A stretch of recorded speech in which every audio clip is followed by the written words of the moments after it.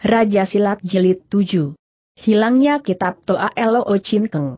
Dalam hati Lim Teo merasa curiga kalau orang ini tidak punya niat baik sudah tentu tidak menggubris omongannya lagi, dengan cepat dia pukul pantat kerbaunya dan lari menuju keluar hutan dengan sangat cepatnya si kakek tua yang berada di belakang segera berseru dengan semakin keras. Hei bocah cilik jangan lari, jika kamu pergi bukankah aku semakin tersesat? Hei, Tunggu. Ketika Lim Teo menoleh dan melihat kakek itu lari terpontang-panting mengejar dirinya. Jika dilihat dari gerak-geriknya mana mungkin dia berhasil mengejar kerbauku yang lari dengan kecepatan penuh. Sambil berpikir dia mengapit perut kerbau semakin kencang membuat larinya kerbau pun semakin kencang, di dalam. Beberapa saat dia sudah hampir keluar dari hutan itu, asalkan sudah keluar dari hutan mau tak mau terpaksa Lim Teo harus menjaga serangan dari elang raksasa itu lagi, membuat hatinya saat ini semakin tegang. Tanpa sadar dia menoleh ke belakang melihat si kakek tua yang sedang mengejar ke arahnya, siapa tahu bukan saja kakek tua itu tidak ketinggalan bahkan jaraknya semakin dekat dengan dirinya, Ketika dia melihat Lim Teo menoleh sambil tertawa hingga kelihatan gigi, ujarnya. Hei bocah cilik, jika kamu lebih cepat dari aku orang tua tidak akan sanggup untuk mengejar. Lim Teo melihat dua kali gagal meninggalkan kakek tua itu tidak terasa dalam hati timbul perasaan gusarnya, dengan cepat dia menarik tali kerbaunya sehingga berhenti, kemudian makinya dengan gusar. Kamu kakek tua sungguh mencengkelkan sekali, bicara sesungguhnya aku sendiri juga orang yang tersesat, buat apa kamu orang terus ikuti aku? Perkataanmu bagaimana bisa membuat aku percaya? Ujar kakek tua itu sambil geleng kepalanya tidak percaya. Kalau memang kamu tersesat kenapa tidak boleh membiarkan aku berjalan bersama-sama kamu orang? Dua orang jalan bersama-sama bukankah semakin baik? Lim Teo yang mendengar perkataan ini hampir dua tidak ada perkataan lain untuk diucapkan lagi, dengan sangat gelusar ujarnya dengan keras. Aku tidak ingin jalan bersama dua kamu orang semuanya demi keselamatanmu sendiri, tahu tidak? Mungkin kamu sudah bosan hidup. Kakek tua itu menjulur lidahnya, sepasang matanya melotot keluar dengan besarnya lama kemudian baru ujarnya. Kalau begitu kamu bukannya seorang pencuri tentu seorang perampok. Ha, ha, ha ujar Lim Teo dengan gugup, sedang sepasang matanya melotot keluar. Hati-hati kalau bicara, siapa yang pencuri? Siapa yang jadi perampok? Bukankah kamu orang bilang sendiri, kalau bukan kamu orang jadi pencuri apa perampok bagaimana aku bisa kehilangan nyawa hanya karena jalan bersama-sama? Lim Teo dengar dia sudah salah tangkap pembicaraannya tak terasa geli juga, sahutnya. Aku bukan pencuri juga bukan perampok, sekalipun jadi pencuri aku juga tidak mau merampok seorang kakek tua miskin seperti kamu hingga sebuah sepatu pun tidak kau punya. Sambil berkata dia tunding ke atas langit dan sambungnya sudah lihat jelas belum? Binatang terkutuk itu? Dengan cepat kakek itu angkat kepala melihat, Mulutnya dipentang lebar dua lama kemudian baru sahutnya sambil gelengkan kepalanya. Binatang apa yang dapat begitu ganasnya Lim Teo semakin gusar, cemas, dan geli, sahutnya. Kau lihat dengan keras, seekor burung elang raksasa yang suka makan manusia, asalkan kamu keluar dari hutan ini segera dia menubruk ke bawah, sudah dengar jelas belum? Sehabis berkata dengan cepat dia meloncat dari punggung kerbau untuk mematahkan setangkai kayu kemudian meloncat naik kembali ke atas punggung kerbaunya, serunya. Cepat lari. Kerbau itu dengan cepat menerjang keluar hutan dan lari dengan cepatnya ke depan. Koak, koak dugaan Lim Teo sedikit pun tidak meleset, Baru saja dia keluar dari dalam hutan burung elang raksasa itu dengan mengeluarkan suara pekikan ngeri sudah menubruk ke bawah dengan dahsyatnya, saat itu Lim Teo sudah siap sedia, baru saja dia akan mengelincir masuk ke bawah perut kerbau saat itulah terdengar jeritan kaget suara kakek tua itu. Aduh mak, sungguh ganas binatang terkutuk ini, tolong dia mau makan tubuhku. Lim Teo menjadi sangat terkejut dengan cepat dia menoleh ke arah kakek tua yang terus mengikuti kerbaunya itu. Saat ini elang raksasa ini sudah menubruk ke depannya Lim Teo tak bisa pikirkan lainnya lagi dengan cepat dia menerobos ke bawah perut kerbaunya. Kelihatan sekali cakar maut dari elang itu sudah berada kurang lebih beberapa dipas saja dari atas kepala kakek itu, mendadak kakek itu menjerit kaget, Sepasang tangannya dengan kencang menutupi kepalanya, saat itulah terdengar elang raksasa itu dengan mengeluarkan suara pekikan ngeri yang sangat keras, sayapnya sekali lagi dipentangkan dan terbang ke atas awan dengan cepatnya, kiranya sebuah batu besar bagaikan kilat cepatnya sudah menyambar ke atas tubuh elang itu dan menghajar perutnya dengan keras. Baru saja elang raksasa itu terbang sampai di tengah perjalanan mendadak tubuhnya meluncur dengan cepat menuju ke bawah dengan cepatnya dan bisa seketika itu juga, kiranya batu tadi dengan cepat menghajar tubuhnya sekaligus mencabut nyawanya. Melihat hal itu kakek tua tersebut menjadi sangat girang, ujarnya. Hei, bocah cilik, binatang yang maka orang itu sudah jatuh ke bawah, mari kita lihat.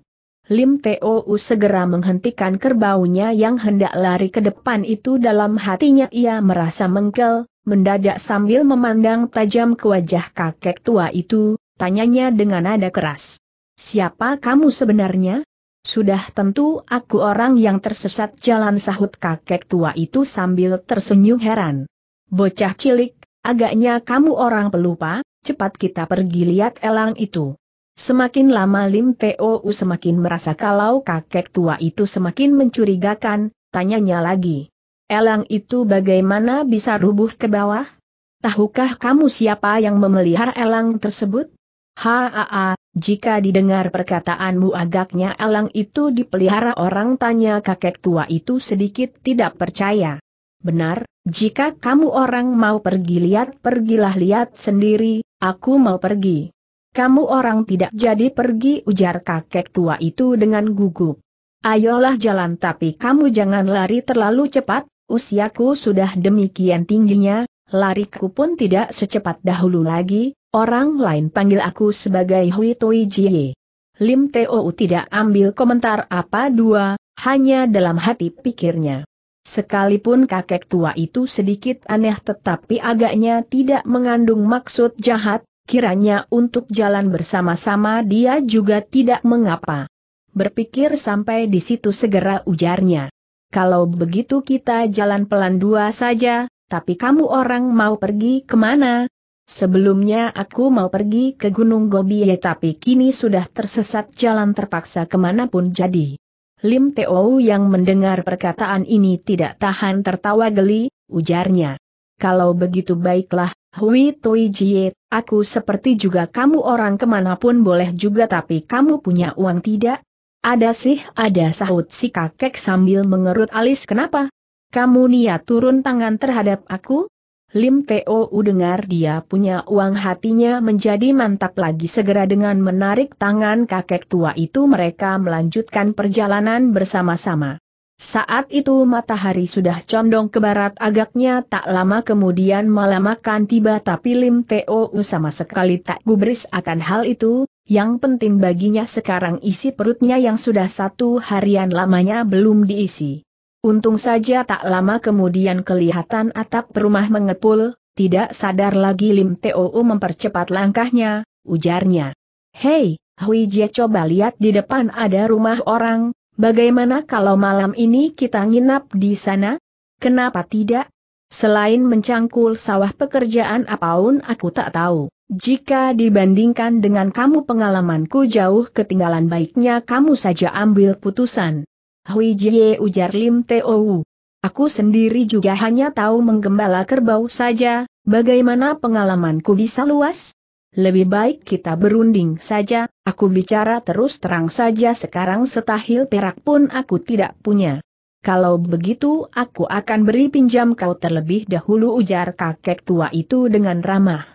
Lain kali kalau kamu sudah punya uang boleh kembalikan kepadaku, tapi pokoknya kita makan dan tidur dulu.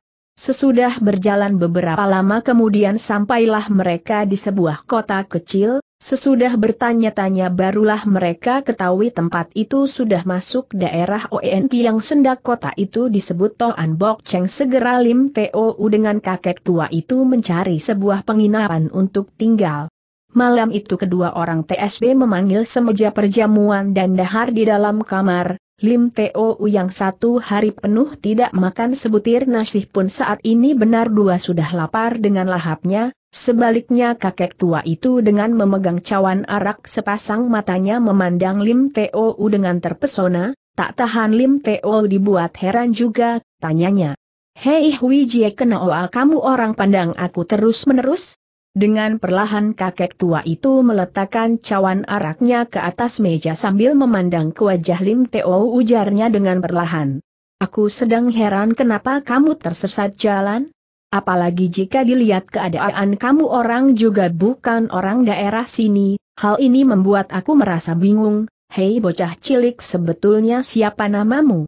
Saat ini Lim Teo sudah merasa kenyang hingga hatinya pun merasa sangat gembira, perasaan curiganya terhadap kakek ini makin lama makin hilang kini mendengar dia bertanya segera sahutnya tanpa ragu-ragu. Aku bernama Lim Teo bertempat tinggal di atas Gunung Hamosan di daerah Cincen, sesudah ayah Ki meninggal secara turun gunung bekerja sebagai pengangon sapi tidak disangka dituduh orang sebagai pencuri sapi hingga mereka tangkap aku ke dalam penjara, di tempat itulah aku bertemu dengan seorang yang bernama. Agaknya kakek tua itu sudah dibuat terpesona oleh cerita Lim Teo ini, dengan cemas tanyanya. Kamu ketemu dengan siapa? Lalu bagaimana? Lim Teo tidak segera menjawab, dengan tertegun dia pandang kakek tua itu mendadak tanyanya. Hui Tui Jie sebetulnya siapa namamu? Agaknya kakek tua itu menemukan sesuatu persoalan yang rumit, sesudah berpikir beberapa waktu lamanya barulah sahutnya. Waktu kecil semua orang panggil aku sebagai Hui Tui Jie mungkin juga aku orang memang Shili. Sehabis berkata dia segera mengubah pembicaraannya, tanyanya lagi. Siapa nama ayahmu? Lim Hansan sahut Lim Teo cepat tanpa pikir panjang lagi.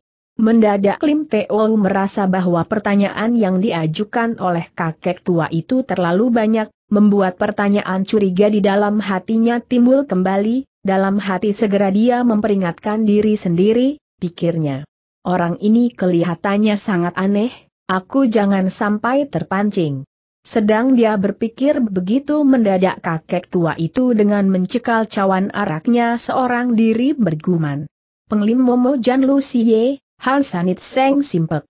Sehabis bicara mendadak dia angkat kepalanya, dari sepasang matanya memancarkan sinar yang sangat tajam tapi hanya dalam sekejap saja sudah lenyap kembali sedang matanya pun memandang terpesona ke arah Lim Teo. Lim Teo ketika mendengar dia mengucapkan syair dari Sian Jien Lipek, segera dalam harinya memastikan kalau dia bukanlah seorang kakek tua yang sedang tersesat jalan. Bahkan namanya Hui Tui Jie pun tak bisa dipertanggungjawabkan. Tapi pada saat ini dia sama sekali tidak mau bongkar rahasia ini sebaliknya sambil tertawa ujarnya. Oha, oha, Sungguh rak disangka Hui Toi Jia juga seorang syuca yang senang dengan syair terkenal, sungguh mengagumkan, sungguh mengagumkan. Ha, ha, aku orang tua mana bisa disebut seorang syucai ujar si kakek sambil tertawa pahit. Hanya secara tiba-tiba teringat akan seorang yang sudah meninggal ia sering membaca syair ini, sudah tentu dengan sendirinya aku jadi ikut duaan membaca syair itu juga, Hei bocah cilik kau juga pernah dengar syair ini? Pada masa yang lalu ayahku paling suka syair ini. Sesudah Lim Too menjawab pertanyaan ini mendadak hatinya tergerak terhadap kakek tua ini pun seara tiba dua timbul perasaan yang sangat aneh sekali, dia merasa walaupun kakek tua ini sedikit ketolol-tololan dan aneh tapi merupakan seorang yang sangat ramah. Tidak lama kemudian kedua orang itu selesai dahar, Sesudah pelayan membersihkan sisa dua makanan Lim Tou naik ke atas pembaringan untuk istirahat sedang kakek tua dengan alasan mau nanya jalan menuju Gunung Gobiye berlalu dari kamar. Lim Tou buka pakaiannya untuk istirahat, pada waktu itulah dia mendadak merasa kitab Toa Lo Cinkengnya sudah lenyap. Tidak terasa hatinya sangat terperanjat, dengan cepat dia periksa lagi dengan telitinya di sekeliling tempat itu tapi tetap tidak nampak bahkan kapan hilangnya pun tidak diketahui olehnya. Lim Teo yang kehilangan kitab pusaka menjadi sangat bingung sekali, sesudah berdiri mematung beberapa saat. Lamanya di dalam kamar dengan perlahan-lahan dia baru merasa kalau urusan ini sangat mencurigakan sekali, mendadak teringat akan gerak-gerik yang aneh dari kakek tua itu pikirnya diam-diam. Urusan ini mungkin ada hubungan yang erat dengan dia, sekarang dia sedang keluar untuk mencari berita jalan menuju ke daerah Gunung Gobie. Teringat sampai di sini mendadak hatinya semakin terperanjat dia memakai baju dan lari keluar sedang pada mulutnya gumamnya seorang diri. Tua bangka bangkotan, mana day sedang tanya jalan? Sudah berhasil mendapatkan kitab pusaka dengan sendirinya meminjam kesempatan ini untuk melarikan diri. Sesudah sampai di pintu depan penginapan itu terlihat kakek tua itu sudah berada ratusan tindak dari pintu penginapan kakinya masih tetap telanjang sedang tubuhnya berjalan menuju ke arah sebelah timur. Melihat kakek itu belum kabur dalam hati Lim Teo merasa sangat girang, teriaknya keras-keras. Hei, Hui Tui Jie tunggu sebentar aku ada perkataan yang hendak disampaikan. Tapi kakek itu sama sekali tidak mau gubris, dia tetap melanjutkan perjalanan ke arah timur. Serulim Teo lagi. Hei, Hui Tui Jie tunggu aku sebentar, hei, tunggu sebentar. Kakek itu tetap tak ambil peduli dirinya seolah-olah dia tulilim Teo menjadi cemas dengan cepat dia lari lagi. Mengejar ke arahnya tapi kejadian aneh terjadi di depan matanya. Lim Teo yang lari dengan cepat ke depan walaupun belum bisa dikatakan cepat bagaikan kilat tapi jauh lebih cepat. Jika dibandingkan dengan orang biasa, kelihatan sekali kakek itu berjalan dengan langkah yang sangat perlahan tapi tetap saja dia tidak berhasil mengejarnya. Makin lama kakek itu sudah semakin dekat dengan ujung jalan tapi Lim Teo masih tetap berada ratusan tindak di belakangnya, saat ini Lim Teo baru tahu dan sadar bahwa kakek tua Iru sama sekali bukan orang yang sedang tersesat jalan, sikapnya yang pura dua itu kesemuanya hanya bertujuan mencari kira pusaka tersebut saja. Dalam hatinya dia tahu kalau tujuan yang sebetulnya dari kakek tua itu tentunya kitab pusaka Tukong Pit Liok, siapa tahu yang dicuri merupakan Toa Elo Ochin Keng peninggalan ayahnya, Sungguh merupakan kejadian yang sangat sial. Kini melihat kakek itu makin pergi makin jauh dan akhirnya lenyap di tengah kegelapan, Lim Teo tahu sekalipun dia mengejar juga tidak ada gunanya, teringat kembali situasi sesaat ayahnya menyerahkan kitab pusaka Tu Elo Chin Keng, kepadanya tak terasa hatinya menjadi sangat sedih, air mata bercucuran dengan langkah yang sempoyongan dia kembali ke penginapan. Dalam hati dia merasa sangat gemas dan benci kepada kakek tua itu, makinya. Tak tahu malu, bangsat tua, cucu kura dua, anak haram jadah, tunggu saja sesudah aku berhasil melatih ilmu silat sekalipun kau lari ke ujung langit aku tetap akan cari kau dan merampas kembali kitab pusaka peninggalan ayahku itu.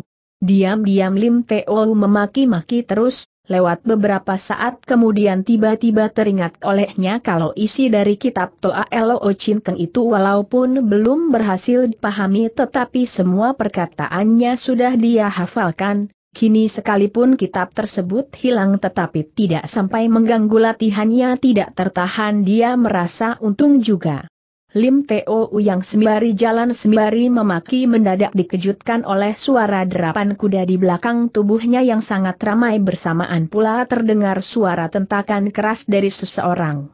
Di tengah ramainya pasar malam mendadak terdapat orang yang bertindak kasar dengan menerjang orang yang berada di tengah jalan membuat Lim Toa seketika itu juga merasa sangat terkejut, dengan cepat dia menoleh ke belakang, Empat lima ekor kuda jempolan dengan cepat sedang menerjang datang. Dengan tergesa-gesa Lim Teo menghindar ke samping ketika dia memandang lebih teliti lagi ke arah penunggang kuda itu tidak tertahan saking terkejutnya dia dibuat tertegun seketika itu juga, kiranya orang dua itu adalah Chung Chu dari Ie Hek Chung, si angin Sin Pian Pou Saksan beserta keempat jagonya. Dengan cepat Lim Teo bersembunyi di tempat kegelapan, menanti sesudah kelima orang itu lewat barulah dengan tergesa-gesa dia balik ke dalam penginapan. Waktu dia sampai di depan pintu penginapan justru waktu juga terdengar suara bentakan yang keras dari si angin Sin Pian Po Saksan dari dalam rumah penginapan, jika dengan begitu saja Lim Teo berjalan masuk bukankah dengan tepat bertemu dengan mereka? Sudah tentu dia tidak berani masuk dengan begitu saja dengan cepat tubuhnya menyelinap ke samping tempat kegelapan.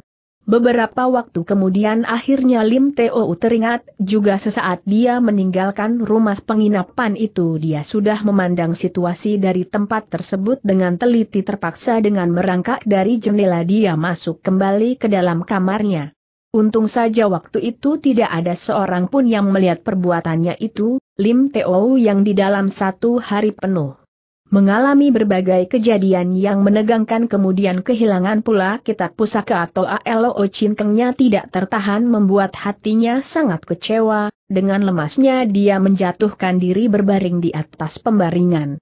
Mendadak matanya terbentur dengan sebuah sampul surat beserta sekarat uang perak yang terletak di atas bantal, di atas sampul itu tertulis beberapa kata dengan terangnya.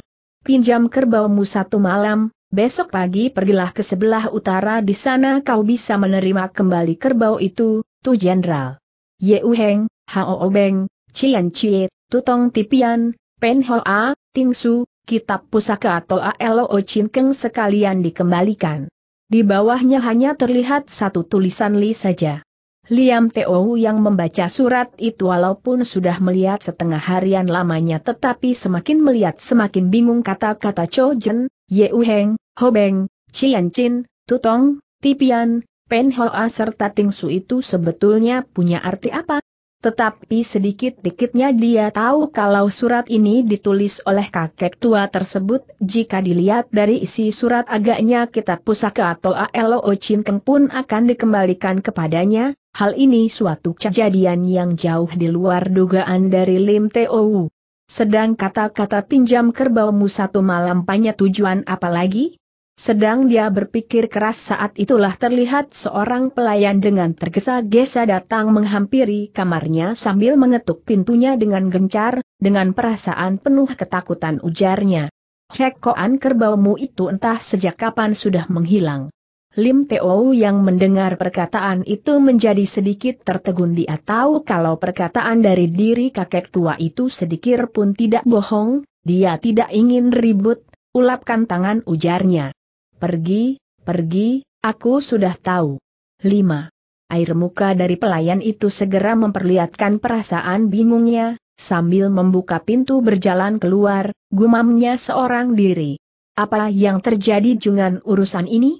Mendadak pada ingatan Lim Teo terbayang kembali si cambuk sakti Pou Saksan sekalian dengan cepat ujarnya kepada pelayan ini. Hei tunggu sebentar, aku mau tanya itu kelima penunggang kuda yang baru saja datang apa menginap di sini juga? Benar sahutnya sambil mengangguk, mereka tinggal di kamar sebelah mana? Eh, mungkin Hek Koan kenal dengan mereka tanya pelayan itu sambil mengerdipkan matanya. Mereka istirahat di kamar yang berpisah, salah satu di antara mereka tinggal di kamar sebelah ini, apa perlu Harnba panggil? Tidak perlu tidak perlu sahut Lim Teo cemas. Kamu boleh pergi. Sesudah pelayan itu pergi barulah Lim Teo berbaring di atas pembaringan untuk beristirahat tetapi walaupun sudah berbolak-balik namun tetap tak bisa tertidur nyenyak, pikirannya terus-menerus bekerja teringat kembali akan pencurian kitab pusaka atau ALO Cinkeng oleh kakek tua itu beserta kata-kata yang ditinggalkannya, apa maksud yang sebenarnya dari dia orang? Kenapa secara mendadak si cambuk Sakti Pou Saksan turun gunung bersama-sama dengan keempat jago-jagonya? Bagaimana dengan keadaan Xiaowi E Cici saat ini? Pikirannya terus-menerus diperas tidak terasa lagi kentongan kedua sudah berlalu, saat itu baru saja siap memejamkan matanya mendadak di luar rumah penginapan itu berkumandang datang suara ringkikan kuda kemudian disusul dengan suara seseorang yang sangat dikenal olehnya sedang berteriak dengan keras. Hei pelayan buka pintu.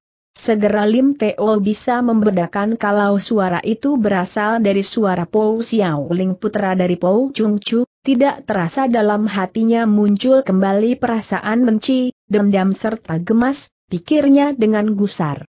Hem dia lagi, yang memisahkan aku dengan Ie Cici juga dia. Lim Teo yang teringat akan sakit hatinya ini membuat niatnya untuk tidur segera lenyap tanpa bekas, dengan perlahan lanan dia turun dari pembaringannya dan mendorong jendela luar hingga terpentang, terlihatlah sinar rembulan memancarkan sinarnya dengan remang dua, suara gemerisiknya binatang kecil memberikan suatu suasana yang sangat mengharukan, buat perasaan sedih muncul meliputi seluruh benaknya. Saat itulah pintu dari rumah penginapan itu terbuka kemudian disusul dengan langkah kaki yang berhenti di kamar sebelah, sambil mengetuk pintu ujarnya. Tia kamu orang tua belum tidur? Ling Jie datang. Segera Lim Teo dapat mengetahui kalau orang yang berdiam di kamar sebelah adalah Chung Chu, tidak terasa lagi dengan perlahan dia menutup jendelanya kembali dan pusatkan perhatiannya untuk mendengar kau apa yang hendak mereka bicarakan. Saat itu terdengar dibukanya pintu kamar disusul dengan suara dari Pong Chung Chu yang sedang bertanya. Ling Jie, kenapa sampai waktu ini baru datang? Sudah kamu temui kawan-kawan sealiran kita. Orang lain sudah menganggap anakmu sebagai seorang tamu yang sangat terhormat tentang hal ini tidak bisa salah lagi, hanya saja di tengah perjalanan kali ini aku sudah dengar suatu berita yang sangat aneh, membuat anakmu merasa bingung. Urusan aneh apa tanya Po Chung Chu, cepat kamu orang ceritakan. Tia, Tahukah kamu orang tua siapa yang sudah mendapatkan kitab pusaka Tukong Pit Liok yang sangat menggetarkan sungai telaga itu? Oh, aku kira urusan aneh apa tidak tahu fat tentang kitab pusaka itu, bukankah sejak dulu aku sudah bilang kitab pusaka Tukong Pit Liok itu sudah berada di tangan Shok Chu Siang Mo. Apanya yang aneh? Bila mana sungguh-sungguh terjatuh di tangan Siang Chu Siang Mo anakmu juga tidak akan merasa heran, yang paling aneh barang itu adalah sudah berpindah tangan lagi bahkan jika dikatakan sukar membuat orang percaya, katanya majikan yang baru dari kitab pusaka itu adalah seorang bocah cilik yang bernama Lim Teo.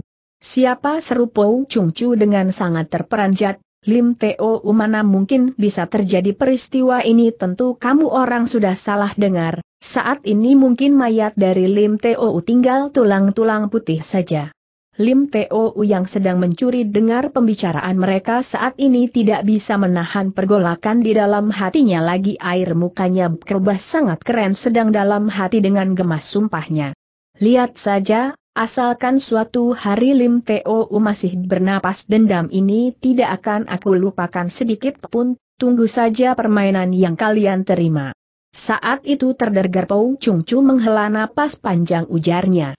Hei, Bila kita ungkap Lim Teo bocah bangsat itu sampai ini hari juga aku masih merasa gemas dan benci.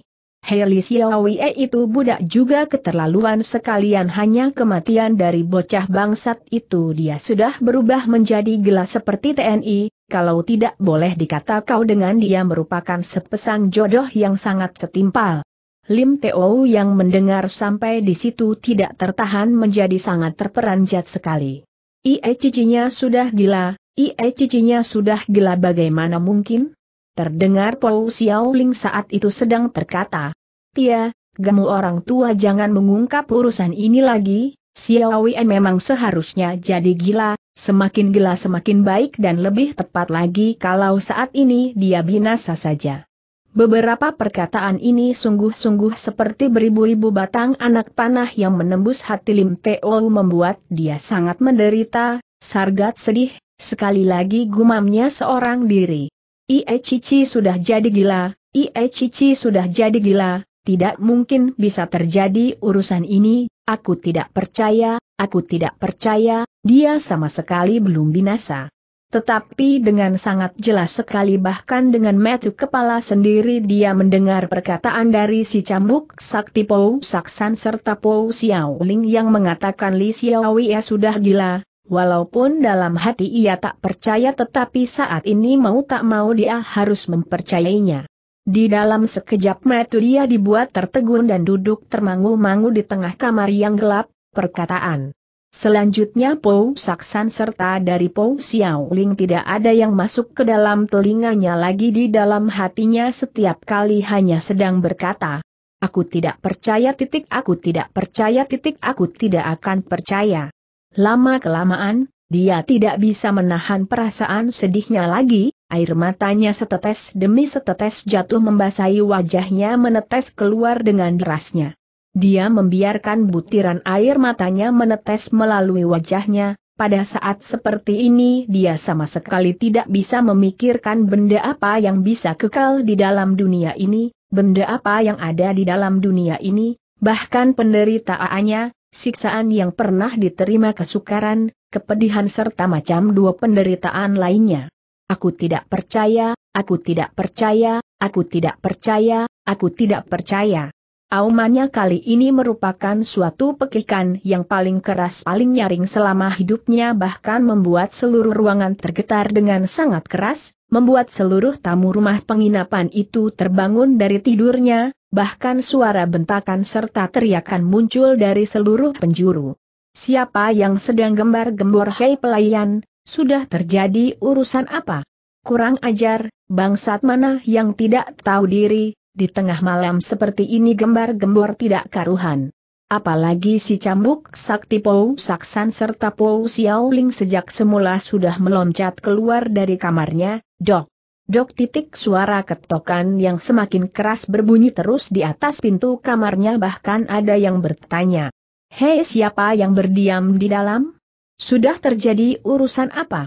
Lim Teo yang mendengar Pou Chung Chu serta Pou Xiao Ling sudah menggedor pintu kamarnya seperti baris saja sadar dari suatu impian segera dia merasa sangat terkejut, dia sadar kalau dirinya sudah telanjur berteriak sehingga mengejutkan mereka sedang saat ini pun dia tidak bisa buka pintu untuk menemui mereka berdua bagaimana baiknya, untuk sesaat lamanya membuat Lim Teo menjadi kalang kabut dan bingung, untuk melarikan diri dari jendela dia merasa bukanlah suatu cara yang sempurna, bila mana mereka berdua mendorong pintu masuk dan melibat orang di dalam kamar sudah melarikan diri tentu akan segera mengadakan pengejaran, Waktu ini ketukan dari Pou Chung Chu serta Pou Xiao Ling semakin gencar, mendadak dalam benak Lim Teo berkelebat suatu akal dengan cepat dia menekuk lidah Nfa ke atas sengaja mempertinggi nada suaranya dan lanjut berteriak. Aku tidak percaya, aku tidak percaya tidak berhasil tangkap kamu hei ikan bodoh kamu mau lari ke mana lagi? Kemudian tambahnya lagi. Cici cepat ambil jala, oha, Seekor ikan yang sangat besar sekali. Sesudah dia bicara begini ternyata mendatangkan hasil yang gemilang, terdengar Pou Xiao Ling yang berada di luar kamar sedang memaki. Huu, setan, kiranya seorang manusia malas yang sedang mengigau? Sehabis berkata dia berjalan kembali ke dalam kamar sebelah. Lim Teo yang berhasil meloloskan diri di saat yang sangat kritis saat ini tidak berani banyak omong lagi, dengan perlahan. Lahan dia kembali ke atas pembaringannya dan merebahkan diri.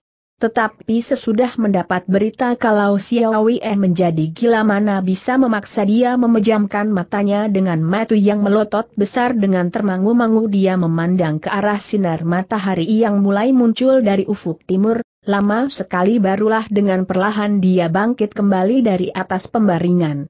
Tetapi dalam hati dia sadar asalkan dia keluar dari pintu kamar tentu akan ditemui oleh Pou Chung Chu sekalian, karena itulah dia tidak berani berjalan keluar, dengan diam-diam dia meletakkan sekeping uang perak itu ke atas meja kemudian dengan tidak menimbulkan suara sedikit pun ngeloyor pergi melalui jendela, dengan mengikuti petunjuk perjalanannya ke arah utara. Dalam perjalanan di dalam hati Lim Teo hanya punya satu pikiran saja yaitu memikirkan keselamatan Xiao Wei, sambil berjalan pikirnya. Aku pasti akan naik ke atas Gunung Hamosan untuk bertemu dengan Ie Cici, betulkah dia sudah gila? Mana aku bisa percaya? Aku harus ke sana untuk melihat sendiri. Tidak lama kemudian dia sudah meninggalkan kota Toan Bok Cheng tersebut, Dikala itu cuaca baru saja terang tanah, burung-burung yang terbang di atas pohon di samping jalan berkicau dengan ramainya membuat semangat Lim Teo bangkit kembali, tak terasa langkah kakinya pun bertambah cepat. Dalam waktu yang sangat singkat dia sudah berjalan kurang lebih sepuluh li lebih, dari tempat kejauhan mendadak terdengar suara dengusan kebau, tidak terasa hatinya menjadi tergerak, dengan cepat dia berhenti dan menengok ke sekeliling tempat itu, terlihatlah di sebelah. Depannya berdiri sebuah kuil yang sudah hampir rusak dengan cepat dia berjalan mendekat.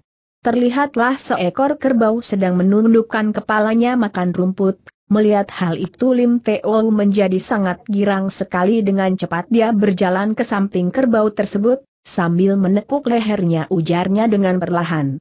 Gou Koko, bagaimana kamu bisa lari sampai sini? Begitu dia menepak leher kerbaunya segera terasalah air keringat membasahi tangannya itu tak terasa dia menjadi sangat heran, tanyanya. Hei titik kenapa kamu mungkin satu malaman kamu lari terus? Tanda petik. Kerbau itu begitu melihat munculnya Lim Teo secara mendadak merasa sangat girang sambil mendengus perlahan, dengan perlahan dia bergeser ke samping tubuh Lim Teo. Mendadak matanya tertumbuk dengan daun yang tergantung di atas tanduk kerbau itu, dengan cepat diambil benda itu terlihatlah di atasnya ketuliskan delapan huruf dengan jelasnya Jien, Heng, Chu, Beng, Pong, Pian, Hua, Su. Dengan perlahan Lim Teo mengulangi perkataan itu beberapa kali walaupun tidak tahu apa arti kata-kata itu tetapi teringat kembali olehnya pada surat kemarin malam kakek tua itu pun pernah menuliskan delapan huruf yang membingungkan itu, dalam hati dia tahu tentu kata-kata itu punya suatu arti yang sangat mendalam hanya saja saat ini tak mungkin dapat dipahami olehnya. Ketika itu Lim Teo juga tak mau terlalu banyak menghamburkan waktu untuk memikirkan tulisan itu, dengan langkah yang perlahan dia menarik kerbaunya meninggalkan kuil itu untuk melanjutkan perjalanannya. Sepertanda nasi kemudian sampailah mereka di samping lereng gunung waktu kelihat ada seorang penebang kayu dengan perlahan sedang berjalan mendatang, dengan cepat Lim Teo menyongsong ke depan sambil ujarnya. Toa Siok tolong tanya jalan menuju ke Cincen harus melalui mana? Oh kamu main ke Cincen ujar penebang itu dengan penuh keheranan. Tempat itu tidak dekat, dari tempat ini harus menuju ke daerah Pisian dulu kemudian dengan mengikuti pinggiran sungai menuju ke daerah Ciansian. Baru dari sana menuju ke kaki Gunung Cincen saudara kecil jalan ini merupakan satu-satunya jalan besar menuju ke daerah Pisian.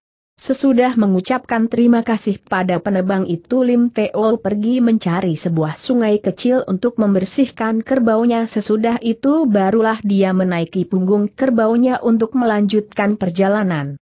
Kini di dalam hati Lim Teo sudah mengambil keputusan untuk kembali ke atas Gunung Hamosan untuk bertemu dengan Ie cicinya. Sesudah berjalan beberapa lama kemudian mendadak teringat kembali akan perkataan kakek tua itu yang menyatakan kitab pusaka atau ALO Keng akan dikembalikan kepadanya.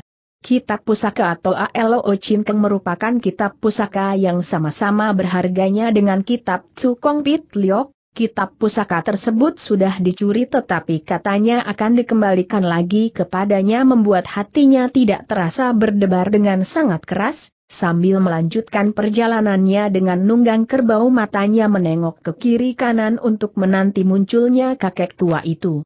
Tetapi walaupun sudah lewat beberapa jauh pun tetap tidak tampak bayangan dari kakek tua tidak tertahan gumamnya. Terang-terangan. Tidak disangka baru saja dia bilang terang-terangan, atau huruf beng dan belum selesai mengucapkan menulis demikian kerbau tunggangannya mendadak berhenti kemudian berjalan mundur ke belakang. Lim Teo menjadi sangat heran dengan cepat dia meloncat turun dari kerbaunya, tetapi kerbau itu masih tetap berjalan mundur ke belakang. Semakin melihat Liam Teo semakin merasa heran, teriaknya keras. Gou Koko kenapa sudah titik? Sudah cukup jangan mundur satu agi, cepat berhenti jangan bergerak. Siapa tahu baru saja dia mengucapkan bergerak atau tong terlihatlah kerbau itu menundukkan kepalanya, tanduk kuya secara mendadak disiapkan di depannya sedang suaranya pun semakin keras, bahkan boleh dikata sifat liarnya kembali lagi pada tubuhnya. Lim Teo yang melihat hal ini menjadi semakin bingung, jika dilihat dari perubahan wajahnya boleh dikata dalam hati Kian merasa sangat terperanjat, sambil berdiri di samping dengan tak henti-hentinya bergumam seorang diri. Di dalam satu malaman saja bagaimana kerbau ini bisa berubah. Perkataan berubah atau pian baru saja keluar dari mulutnya kerbaunya mendadak menghentikan dengusannya kemudian menendangkan kakinya ke belakang dengan sangat hebat membuat pasir dan tanah berterbangan memenuhi angkasa. Sampai di sini barulah dengan perlahan-lahan Lim Teo sadar kembali apa yang sudah terjadi, sedang pada air. Mukanya pun dengan perlahan-lahan mulai menampilkan perasaan terkejut bercampur girangnya, dalam hati pikirnya. Apa sungguh begini? Di dunia ini apa betul ada orang yang berkepandaian sedemikian tingginya? Berpikir sampai di sini mendadak serunya dengan keras. Sukerbau itu dengan cepat menghentikan seluruh gerakannya dan berdiri mematung di sana, seketika itu juga. Membuat Lim Teo berdiri mematung di tempat dengan melongo dia memandang kerbaunya itu, saking girangnya tidak tertahan lagi dia lari ke depan untuk memeluk kencang kerbau itu, ujarnya. Oh oh go koko. Kamu sungguh hebat sekali, tidak aneh kalau tubuhmu penuh dengan keringat busuk, kiranya satu malaman kamu terus-menerus berlatih dengan giat. Sambil berkata dia meloncat naik ke atas punggung kerbaunya kembali, bentaknya. Hoa kerbau itu dengan cepat mementangkan kakinya kemudian lari dengan kencang ke depan. Waktu ini Lim Teo betul-betul merasa sangat girang, dalam hati terus-menerus dia mengingat-ingat delapan kata itu. Jen, Heng, Ci, Bang, Pong, Pian, Hoa, Su. Karena perasaan girang yang meluap-luap itulah membuat perasaan ingin tahu meliputi seluruh tubuhnya, Waktu itu kerbaunya sedang lari kencang, mendadak Lim Teo sudah berseru. Jen kerbau itu dengan cepat memutarkan seluruh tubuhnya dan lari dengan kencangnya ke sebelah kiri, sebelah kirinya itu merupakan sebuah bukit kecil tetapi hanya dua tiga lompatan saja kerbau itu sudah berhasil menerjang hingga puncak bukit. Ketika itulah Lem Teo baru mengetahui kalau Bukit Tiu merupakan sebuah tebing curam yang banyak batu bau cadasnya bahkan tingginya beberapa kaki, di dalam keadaan yang sangat terkejut itulah dengan cemas teriaknya lagi. Beng dengan cepat kerbau itu menghentikan larinya dan mundur beberapa langkah ke belakang, untung saja Lim Teo berteriak dengan cepat kalau tidak dua langkah lagi mereka akan terjatuh ke dalam jurang. Sesudah menghembuskan napas lega barulah Lim Teo berseru lagi. Su dengan cepat kerbau itu menghentikan larinya, dengan hati yang masih berdebar keras Lim Teo meloncat turun dari punggung kerbaunya dalam hati betul-betul dia merasa terperanjat bercampur ngeri, diam-diam pikirnya. Sungguh berbahaya. Kini Lim Teo tahu jelas kalau kerbaunya sudah mendapatkan latihan yang masak hanya di dalam satu malaman saja kerbaunya sudah berubah menjadi seekor kerbau sakti bahkan disamakan dengan seekor kuda jempolan, tanduknya bisa digunakan untuk mengadakan penyerangan punggungnya bisa ditunggangi apalagi ketika kerbau itu lari dengan kencangnya kecepatan luar biasa, ditambah lagi bisa mundur secara mendadak membuat orang lain sama sekali tidak menduga. Lim Teo melihat kerbaunya sudah lelah segera merasa sayang dengan perlahan dia menarik kerbaunya berjalan ke sebelah lapangan rumput untuk beristirahat. Baru saja dia duduk melamun memandang ke arah awan yang melayang jauh di tengah awan sekonyong-konyong, dari tempat kejauhan kelihatan debu mengepul dengan tebalnya dalam hati Lim Teo menjadi terasa terkejut sekali, tidak terasa perasaan tubuhnya sudah berubah menjadi tegang, pikirnya. Mungkin Pou Chung Chu sudah sampai di sini? Di tempat yang terbuka seperti ini tentu mereka menemukan aku. Berpikir sampai di sini dengan cepat keinginan untuk kaburkan diri meliputi seluruh benaknya, tetapi sesaat hendak menaiki punggung kerbaunya dengan tanpa sadar kepalanya sudah menoleh ke arah di mana munculnya debu yang mengepul itu, begitu memandang tidak tertahan dia tertawa geli sendiri. Kiranya suara derapan serta debu yang mengepul jauh ke angkasa itu bukan berasal dari kuda tunggangan Pou Chung Chu kalian melainkan beratus-ratus ekor domba yang bersama-sama lari mendatang. Domba itu berwarna hitam gelap semua sehingga dari tempat kejauhan kelihatan bertumpuk warna hitam yang makin lama berlari mendatang. Kedatangan domba dua yang secara mendadak itu membuat Lim Teo merasa tertarik, tidak terasa dia sudah duduk sendirian di samping kerbaunya sambil memandang dengan terpesona ke arah kawanan domba tersebut. Lewat beberapa saat kemudian kawanan domba itu sudah berada di bawah bukit, Mendadak Lim Teo melihat seorang gadis cantik berbaju putih dengan menunggang seekor kambing yang besar mengikuti dari belakang kawanan kambing itu. Tidak terasa Lim Teo menjadi tertegun dibuatnya, pikirnya dalam hati. Seorang gadis yang sangat aneh sekali, aku menunggang kerbau sebagai pengganti kuda sudah termasuk hal yang aneh, tetapi dia menggunakan kambingnya sebagai pengganti kuda hal ini sungguh merupakan suatu peristiwa yang sangat mencengangkan hati orang. Dengan tidak terasa lagi Lim Teo menoleh memandang beberapa kejap lagi ke arah gadis cantik berbaju putih yang menunggang kambing itu. Terlihatlah ujung baju putihnya menari-nari tertiup angin, gayanya mirip sekali dengan bidadari yang baru saja turun dari kahyangan, cantiknya luar biasa. Pada tangan kirinya dia mencekal sebuah seruling yang terbuat dari batu pukulan yang digunakan sebagai pengganti cambuk, dengan gaya yang sangat lembut dia sedang mengiring kawanan dombanya menaiki bukit itu. Gadis cantik berbaju putih itu benar dua membuat Lim Teo terpesona tetapi hanya dalam beberapa waktu saja Lim Teo sudah sadar kembali dari lamunannya, sambil menoleh ke arah lain dalam hati teriaknya. Oh oh, oh Lim Tu, Liam Teo kamu tidak boleh lihat gadis itu lagi, di dalam dunia ini tidak akan ada gadis yang lebih cantik dari Ie Cici, kamu orang tidak boleh lihat dia tidak boleh tidak boleh. Tanda petik. Dia berusaha untuk tiada lihat kecantikan wajahnya, keagungan sikapnya serta keanehan dari gerak-geriknya membuat Lim Teo terpesona bahkan benar-benar dibuat terpesona.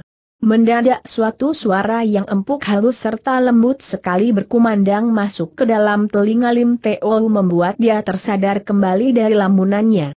Hei! Xiao Ko yang ada di atas bukit tolong tanya kamu orang apa melibat ayahku? Lim Teo yang mendengar perkataan itu di dalam hati merasa sangat geli, pikirnya. Siapa yang tahu ayahmu itu macam apa? Tanpa sadar lagi dia menoleh dan memandang lagi ke arah gadis cantik berbaju putih itu, mendadak pandangannya menjadi terang benderang, pada saat dia menoleh itulah gadis cantik berbaju putih itu sudah berjalan naik ke atas bukit dengan langkah yang sangat perlahan sekali jaraknya saat ini.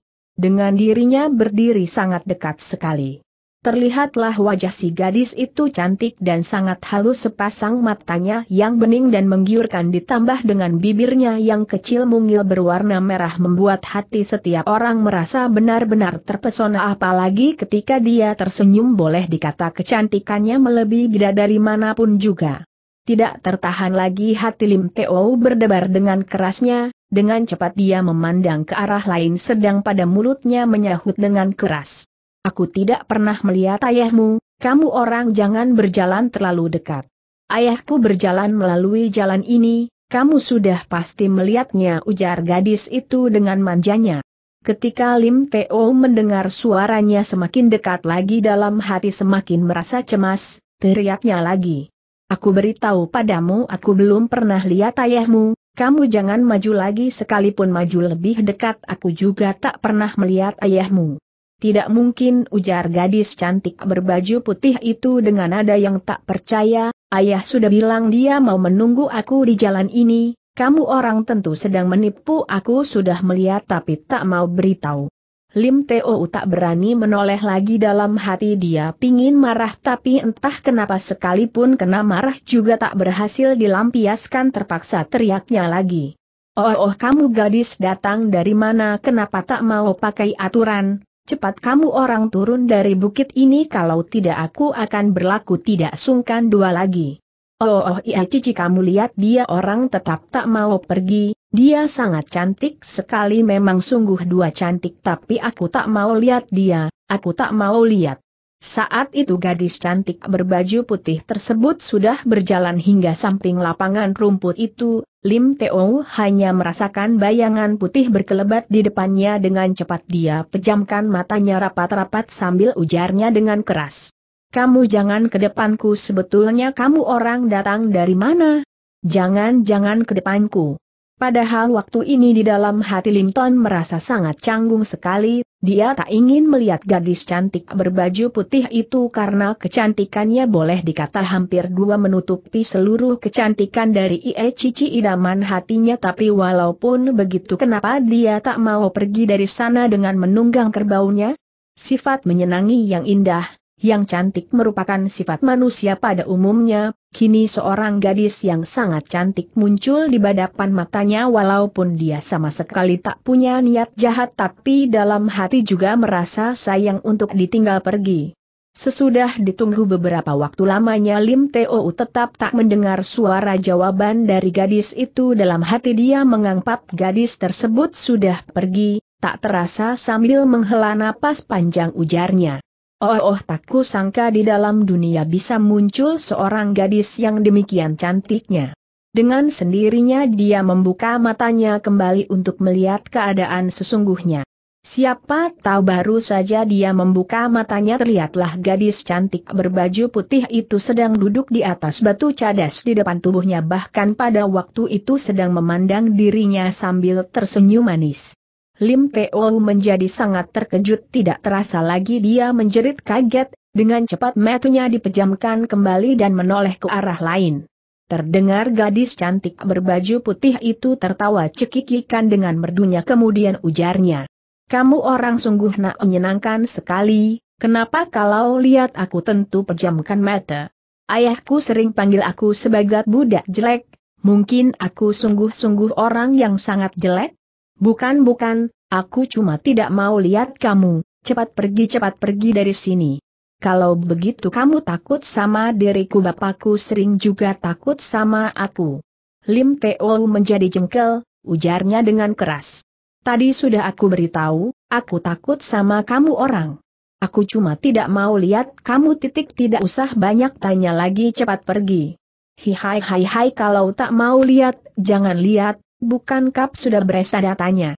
Buat apa kamu orang harus usir aku nol nol loh titik benar kamu belum bilang di mana ayahku sekarang? Kini Lim Teo betul-betul dibuat gemas tak bisa tertawa pun, sesudah berdiam beberapa saat lamanya barulah pikirnya. Hei, aku harus berbuat bagaimana untuk menghadapi gadis cantik ini? Yang membuat dia semakin menemui kesulitan adalah perkataan gadis itu yang masih amat polos bagaikan sekerat batu giok yang belum digosok, jika dibandingkan dengan kecerdikan dan kelincahan dari Ie cicinya boleh dikata kelainan yang berbeda, terhadap seorang gadis dia juga tidak bisa berbuat kasar apalagi mengusirnya dari sana. Mendadak suatu akal bagus herkelebat dalam benaknya, ujarnya kemudian. Baiklah, aku tidak mengusir kau pergi tetapi aku tak mengizinkan kamu orang berdiri di hadapanku, kalau kau mau baru aku mau bicara, baiklah sekarang kamu boleh bilang siapakah bapakmu. Agaknya gadis itu juga sedikit merasa jeukel, dengan menggerutu ujarnya. HMM, kalau bukannya sedang cari ayah, aku juga tak mau mengalah padamu, baiklah lain kali jangan harap kamu bisa melihatku lagi. Liam Teo yang mendengar perkataan itu menjadi bingung, apa arti dari perkataannya ini dengan tidak terasa lagi dia melirik sekejap ke belakang, terlihatlah gadis itu walaupun masih tetap menggunakan pakaian putih tetapi kecantikan wajahnya yang lebih bidadari itu hanya di dalam sekejap mata saja sudah berubah menjadi seorang nenek berwajah kuning yang penuh dengan keriputan. Lim Teo yang melihat hal itu menjadi melongo dibuatnya, Sesudah memandang setengah harian lamanya barulah diketahui olehnya Kak dia sedang memakai sebuah topeng dari kulit kambing, hanya saja topeng itu dibuat demikian teliti dan sempurnanya sehingga sukar untuk diketahui kalau bukannya dipandang dengan teliti. Ketika gadis berbaju putih itu melihat Lim Teo dibuat melongo olehnya tidak terasa tertawa geli, ujarnya. Bukankah begini bagus? Sekarang kamu harus beritahu ayahku berada di mana. Sebetulnya siapakah ayahmu itu? Kamu harus beritahu dulu sehingga aku bisa pikir pernah bertemu atau tidak. Gadis berbaju putih itu berpikir beberapa saat lamanya, kemudian barulah sahutnya. Ayahku bilang dia mau melalui jalan ini bahkan dia bilang juga ada sebuah kitab yang sudah didapati oleh seorang yang bernama Lim Teo. Dia bilang Lim Teo itu tidak seharusnya mendapatkan kitab itu maka dia hendak pergi cari Lim Teo. Berbicara sampai di sini mendadak sambungnya lagi. Oh oh, Xiao Ko, aku lihat kamu jadi orang sangat baik. Aku harus panggil kamu bagaimana? Tentu kau mau bukan menolong aku menceritakan ayahku? Ketika Lim Teo mendengar sesudah dia bicara setengah harian lamanya kiranya ayahnya adalah salah seorang yang ingin merebut kitab pusaka Tukong Pit Lioknya dalam hati benar-benar merasa gemas bercampur jengkel, di dalam beberapa hari ini karena didesak oleh jago-jago dari berbagai partai yang menginginkan kitab pusaka Tukong Pit Lioknya mendesak dia hingga berkali-kali menemui bahaya, sudah tentu kini dia merasa benci terhadap setiap orang yang menginginkan kitabnya itu. Mendadak air mukanya berubah, ujarnya. Maaf Nona aku tidak pernah melihat ayahmu waktuku sudah terbuang terlalu banyak, aku pergi dulu. Sambil berkata dia berjalan ke samping kerbaunya. Melihat hal itu gadis berbaju putih menjadi cemas, serunya. Hei Xiaoko, tunggu dulu aku masih ada perkataan lain. Terpaksa Lim Teowu berjalan kembali, terlihatlah gadis itu mengambil keluar selembar topeng dari dalam sakunya, ujarnya sambil mengacungkan topeng tersebut. Xiao Ko asalkan kau menyanggupi untuk menemani aku mencari ayahku maka barang ini akan kuberikan kepadamu, bagaimana? Lim Teo yang melihat seorang gadis cantik hanya cukup memakai selembar topeng saja maka wajahnya segera berubah menjadi orang nenek yang penuh keriputan tidak terasa hatinya menjadi tergerak pikirnya. Asalkan aku jaga punya benda itu maka di tengah perjalanan tidak akan takut lagi dikejar dihadang oleh orang. Berpikir sampai di sini dengan berdiam diri ia melirik sekejap ke arah gadis berbaju putih itu tetapi di mulutnya tetap membungkam. Si gadis berbaju putih tersebut ketika melihat perubahan wajah Lim Teol ini menjadi amat girang serunya. Kau tentu sudah setuju bukan? Baiklah mari berangkat. Tanpa peduli apa pun gadis tersebut segera melemparkan topeng itu ke tangan Lim Teo, di tengah berkelebatnya bayangan putih dia sudah berjalan ke bawah bukit meninggalkan Lim Teo yang memegang topeng itu sambil berdiri tertegun beberapa saat iamanya, gumamnya seorang diri. Gadis ini memang sangat cantik hingga melebihi batas hanya saja membuat orang menjadi bingung. Dia yang sudah menerima topeng pemberian ayah sudah tentu tak bisa menampik lagi, sambil menuntun kerbaunya dengan perlahan berjalan menuruni bukit itu. Saat ini gadis berbaju putih itu sudah menunggang di atas punggung kambingnya menanti kedatangan Lim Teo. Lim Teo yang menunggang kerbaunya itu dengan perlahan berjalan ke samping tubuh gadis itu, ujarnya mendadak. Nona, terus terang saja aku beritahu padamu, setiap waktu dan setiap saat selalu aku dibuntuti dengan maut bahkan orang dari Bulim semuanya punya niat untuk menahan aku, bila mana Nona jalan bersama-sama dengan aku mungkin saja akan ikut tertimpa bencana.